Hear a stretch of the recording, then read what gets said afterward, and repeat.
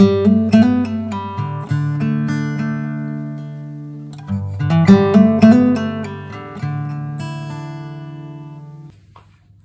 YouTube world. I wish you could be in here with the studio with me because it's quite cold. Look at my gloves. They come all the way up to my elbow. Anyway, um, before I get into this painting, I'm just going to show you the dried results from the last lot. I promised I would. So, don't forget these these are just experiments, okay? I'm not going to waffle on and recap. In fact, I'm not even going to talk through the next video. I'm just going to play some music. Um, so this was the first one. Um, it's got a little bit of work to do through there. Um, and I get a little bit careless with with uh, experiments. I shouldn't do really, I should just treat it like a normal painting. So I've got a little bit of work to do on this one. But once that's varnished, it's gonna bring those colours up. It's gonna look lovely. So that was, that, that was the first one. So that one was only house paint as a background and it eats up all the colours. Second one was Amsterdam White uh, background with the Amsterdam White used as a swipe with varnish in it. Um, a lot more stable, apart from that little bit through there, that was house paint. It gives that kind of cloudy, chalky feel. So that was that one. Oh, I'm losing track. This one's got, like, it's actually, it's some nice things going on there. Went a little bit haywire down here and there's there's not enough negative space coming through here for me.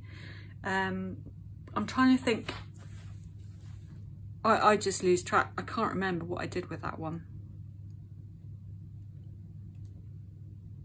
I can't remember. and this one um, was the one that I really liked.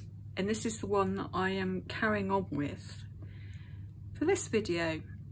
So this was a combination of house paint and Amsterdam titanium white as the background and only using um, Amsterdam white with PVA glue and spot varnish as, as the cell activator.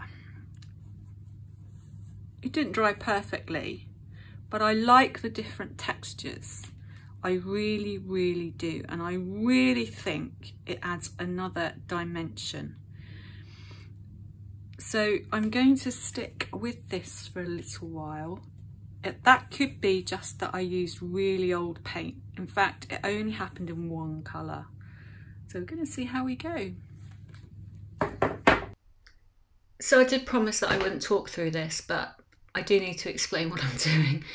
So this is the background and it's the half and half, okay? It's the half Amsterdam titanium white, half um, Home Bargains uh, silk emulsion mixed with PVA and water.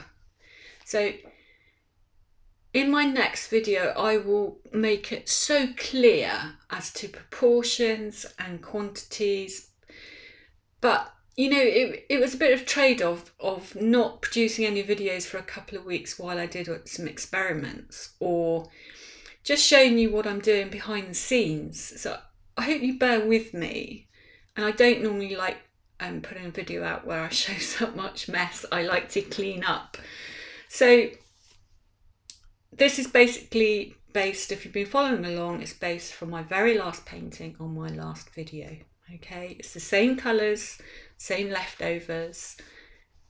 I'm just having a good time.